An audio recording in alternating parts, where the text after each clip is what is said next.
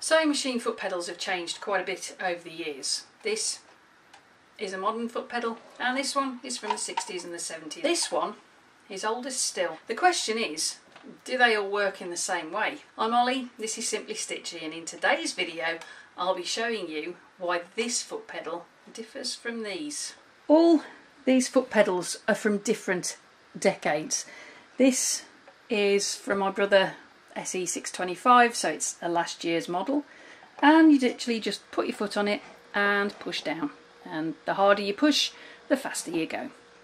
This one is from the early 2000s. This is actually Janome's foot pedal, my Janome QC6260. Again, you just put your foot on it, push down. This one, this is the pedal from the Touch and Sew, but again, you just put your foot on it and push down. This foot pedal belongs to a 1942 Singer 99 and it works in the same way as the modern pedals. It's a little bit more basic. You just put your foot on it and you push it down.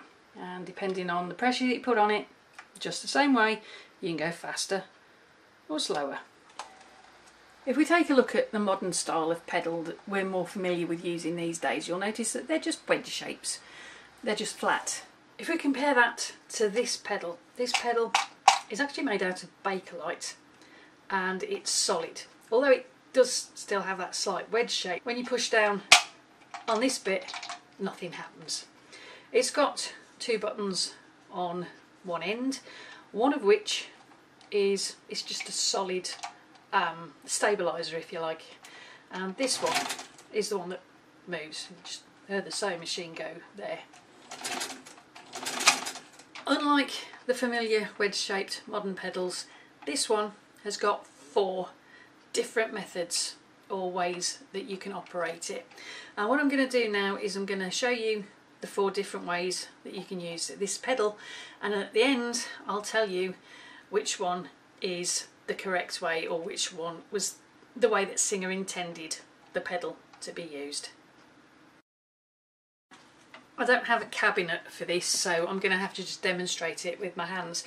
What you do with the pedal is in the underneath part of the sewing machine cabinet you'd mount this in a bracket on the side of the furniture and you'd have a little lever that comes across and pushes this button down. Just this button. Like I said, this one doesn't do anything at all. And the lever would push the button and work the machine for you. A lot of people will put the foot on the pedal and using their big toe just push down on the button that moves. Number three utilises this button here which doesn't move. This is actually a stabilising block or a stop if you like for your foot and what you do is you put the ball of your foot on the top of both buttons and you use it as a home position. So when you're not sewing, your foot is just at rest, like that. And when you want to sew, you just roll with the ball of your foot onto the button that makes the sewing machine go, and then just roll back off it again.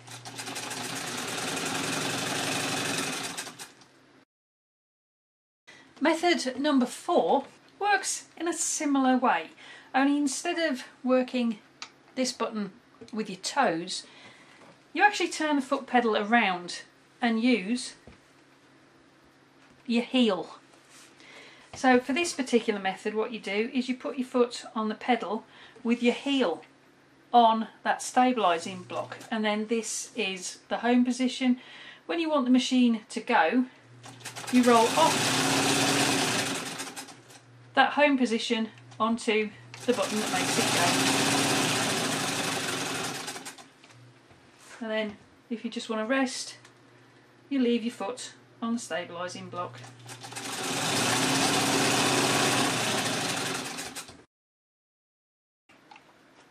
So there you go, four different ways of using one foot pedal.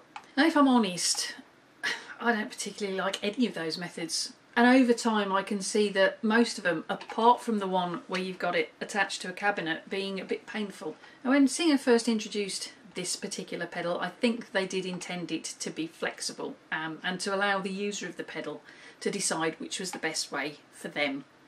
Although I think their intention was that it be operated by putting the heel here and having your foot like that, at the end of the day, if the method that you use to work this foot pedal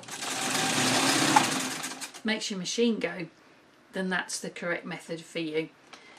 It doesn't really matter what the correct way of using the foot pedal is, as long as the end result gets you a working sewing machine, then hey, go with it.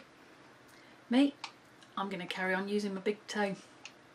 I hope you liked today's video. If you did, give it a thumbs up. And why not go and check out some of the other videos that I've got on my channel using the links that will be on the screen any minute now, or the ones I'll put in the description box below for you.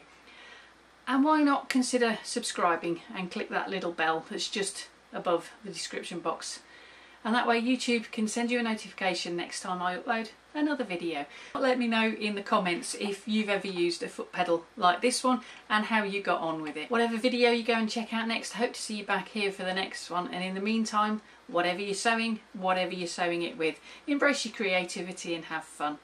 Thank you ever so much for watching and I'll see you next time. Bye for now.